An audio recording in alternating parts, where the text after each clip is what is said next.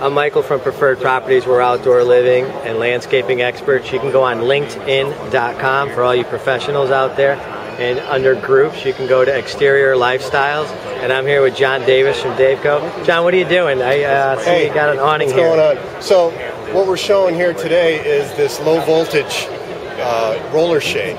These roller shades come in a thousand different fabric combinations for interior, even some exterior applications. What the really good thing about these automated shades are is, along with the various fabric uh, choices that are available, you can set this up on an automation system so that you don't have to worry about closing the shade when you go out for the day and having the sun destroy your, your furniture, your, your carpets, the fabrics on, on, uh, on the furniture. Um, this shade will go up and down with the path of the sun, and we call that light harvesting.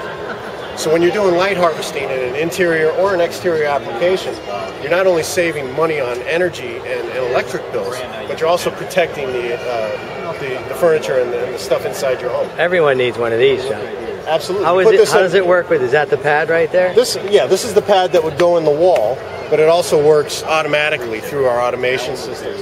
Um, the real nice thing about this is a low voltage motor. It's deadly quiet. There's no elect, uh, electric uh, high voltage motor in there grinding away, so it's it's absolutely silent. Um, you can use these in uh, many different applications. You've got Roman shades, we've got pleated curtains that go up and down, and again, the, the roller shades. So you can have complete blackout for your home theater, or you can have uh, shades with some transparency so that uh, you can see out, but people can't see in. Yeah. What we would do is light up the back of the shade. We'd make the back of the shade white, so at night, all they see is a white window, but you can see through the darker side. I love it, John. We're actually building an outdoor kitchen that's covered and it has stucco arches, and we're looking for a mechanism to keep out the sun at, at levels of glare with an ease. And I'm here with DAVCO, and I'll tell you something, you guys.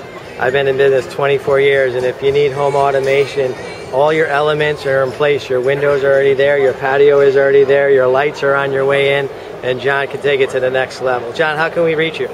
Well, you can reach us either by going to our website, www.davcoinc.com, D-A-V-C-O-I-N-C.com,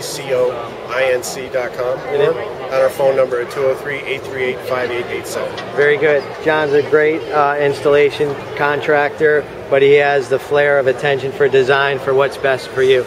So if you want to see DAVCO, you can go to our site at outdoorlivingct.com or call them directly at davcoinc.com. See ya.